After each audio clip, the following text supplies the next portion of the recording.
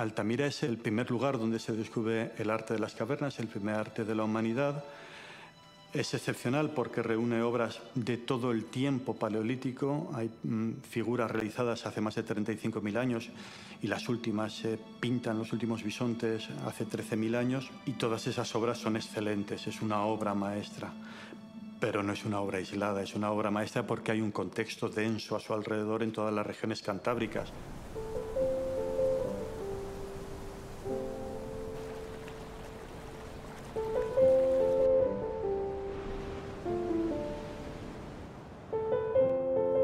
Del Paleolítico Superior, en los tiempos de Altamira, esta región es favorable a la vida de esos grupos humanos y permitió la congregación de numerosas personas y por lo tanto de numerosas cuevas en las que esos grupos humanos se expresaron a través del arte.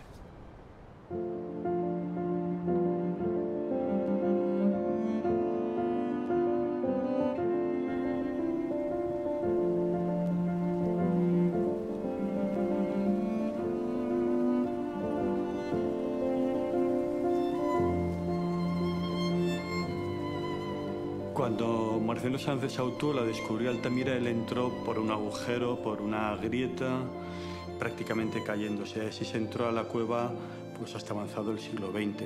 Sin embargo, lo que sabemos es que hace 13.000 años hubo un derrumbe que afectó al vestíbulo de la cueva y que cerró la cueva. Y antes de ese derrumbe, durante el tiempo en que estuvo ocupada por grupos humanos durante el Paleolítico, la cueva tenía una boca grande, que daría acceso a un vestíbulo luminoso, eh, protegido de las precipitaciones y en contacto con la luz del día.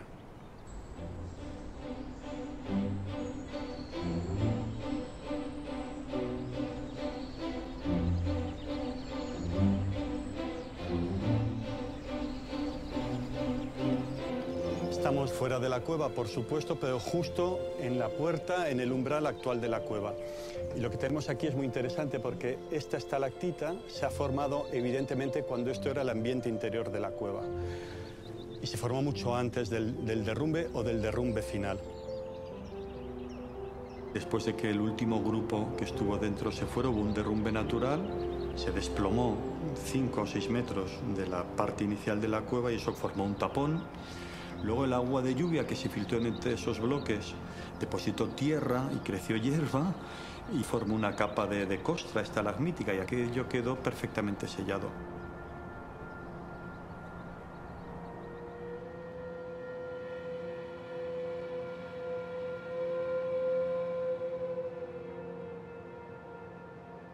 La entrada era muy incómoda. Para facilitar las excavaciones que hace Hugo Vermayer en 1924, a la vez que el abate Henri Breil estudia el arte, se hace una trinchera que corta estos bloques y esta capa de costra estalagmítica que se ha formado aquí, primero para facilitar las investigaciones y después esto se amplía de nuevo en los años 50 del siglo XX para permitir la cómoda entrada de los visitantes a la cueva de Altamira.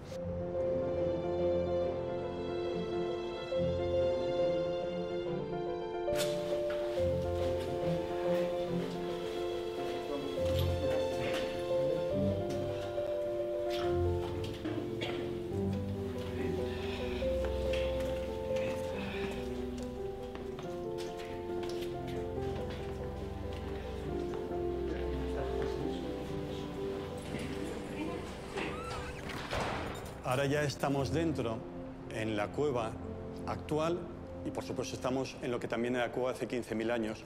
A la izquierda de la puerta, esas piedras pequeñas son el, muro que se construye para cerrar el agujero por donde entró Sautola y las primeras personas que entraron a la cueva. Un poco más allí lo que vemos es ese caos de bloques que son el techo fracturado y que cierra toda la cueva. Y a la derecha de la puerta lo que vemos es esa costra estalagmítica que la lluvia, arrastrando tierra y roca disuelta, deposita encima de los bloques y sella por completo la cueva. Justo donde acaba ese plano inclinado, este gran agujero que vemos en el vestíbulo es consecuencia de todas las excavaciones arqueológicas que se han hecho aquí. La zona más profunda y central es la que se excava en 1906 Hermilo Alcalde del Río, que luego amplían hacia esta zona Hugo Obermayer y esa última cuadrícula marcada son las últimas excavaciones hechas en 1981 por Joaquín González Echegaray, primer director del museo, y por Les Gordon Freeman.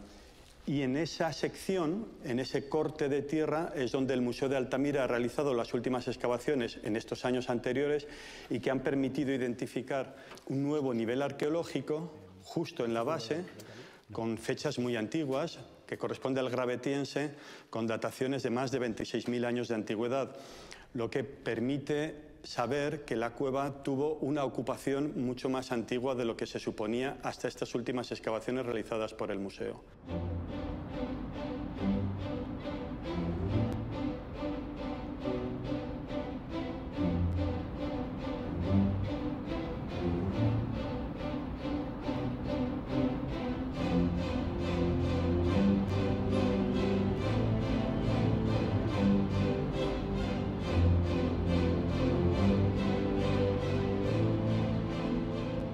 Autola encontró la cueva tal y como la habían dejado los últimos que estuvieron y con una costra de tierrilla dura por encima.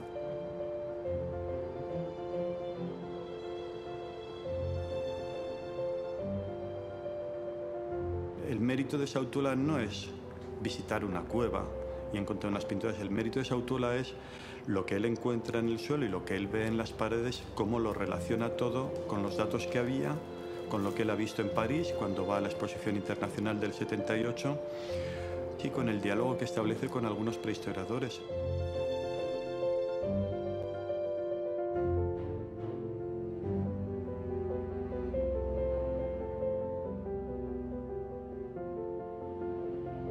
Entonces él es muy conciso, muy certero y muy profundo. No dice vaguedades, no, no. Lo que afirma requiere un gran esfuerzo de análisis, relacionar los pigmentos del suelo con los de la pared, los huesos que él encuentra en el suelo con los animales representados. Es decir, Sautula es una persona que actúa con un, con un gran rigor.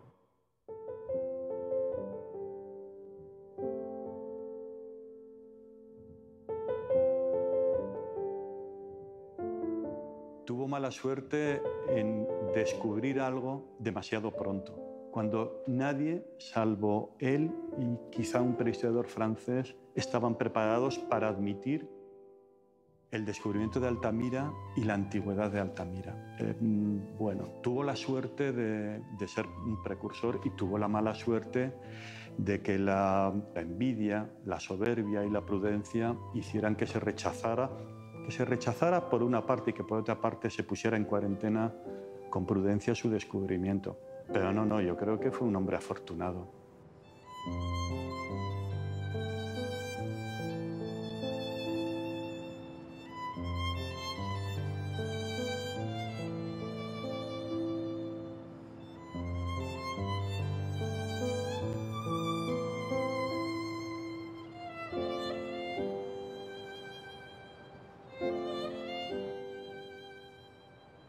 De Marcelino Sanz de Sautola sabemos pocas cosas, pero nos podemos formar una idea cabal de cómo era.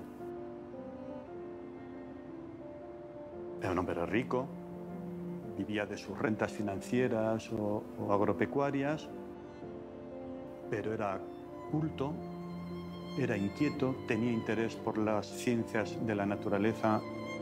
Antes de Altamira sabemos que escolarmente había hecho cuadernos de insectos, estaba en todas las sociedades emprendedoras, las, sociedades económicas, las cámaras de comercio, eh, era correspondiente de la Academia de la Historia. Y, en todo lo que se mete se pone con intensidad y con profundidad.